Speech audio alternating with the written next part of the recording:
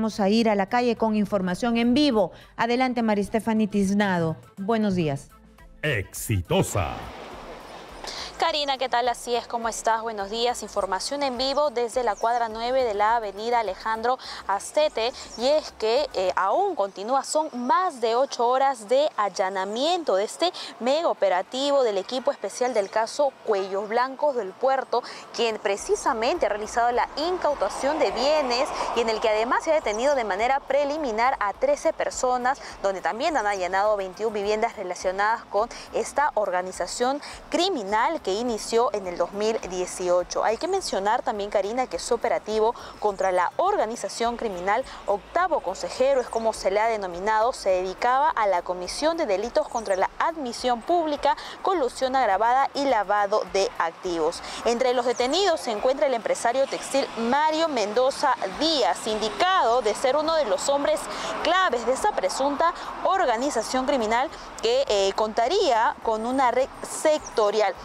Ahora también, Karina, según la hipótesis fiscal, es que ellos habrían integrado esta organización criminal dedicada al tráfico de influencias, corrupción de funcionarios en el Callao y cuyo hombre fuerte era el expresidente de la Corte de Justicia del Callao, Walter Ríos. Quien también se encuentra involucrada es Carmen María Serrano, ella es esposa del empresario, así como también sus hijos. Pero, Karina, hay que detallar que Mario Mendoza Díaz, dueño de la empresa, Alpaca Color SAC. En octubre del 2021, el Poder Judicial le dictó 18 meses de impedimento de salida del país por el presunto delito de colusión agravada. Ahora, como se recuerda también, según la Fiscalía, este empresario se habría valido de sus vínculos con la red de magistrados, conocido como los cuellos blancos del puerto, esto para beneficiar a su empresa con la adjudicación de una licitación a cargo del Ministerio de la Mujer y Poblaciones Vulnerables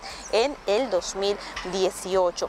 Comentarte quien ya se ha retirado de esta diligencia es el general Zenón Santos Loaiza, el ex jefe de la Dirección contra la Corrupción, quien pues estuvo presente desde las 3 de la mañana y quien ha manifestado que la investigación sigue en proceso por diversos delitos, pero se han encontrado indicios que van a ayudar al Ministerio Público para que esta investigación continúe su curso. Para más detalles vamos a escuchar las siguientes declaraciones.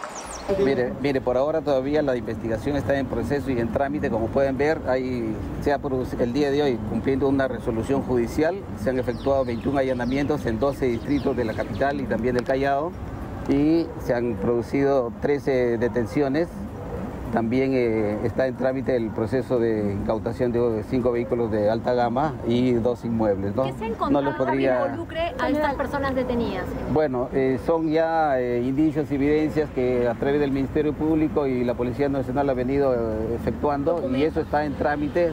Se está produciendo la revisión y el registro de estos inmuebles allanados a fin de encontrar, además de otros indicios de los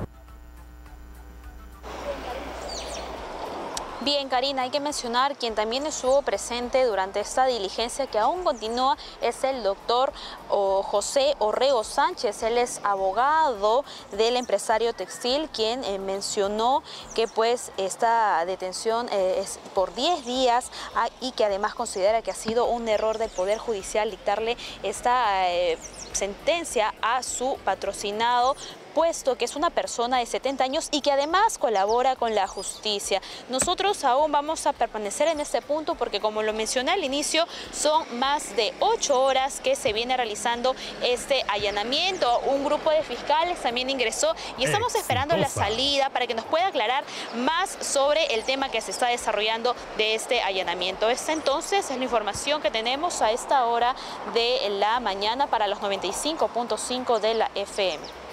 Muy bien, muchas gracias. Justo Maristefani nos estaba hablando de Gastón Julio César Espejo Zavala, es una persona de la tercera edad, y María Antonieta Jarrufe Sabat, son esposos, también han sido detenidos. Los dos son eh, personas de la tercera edad, pero que están implicados en este caso eh, de los cuellos blancos.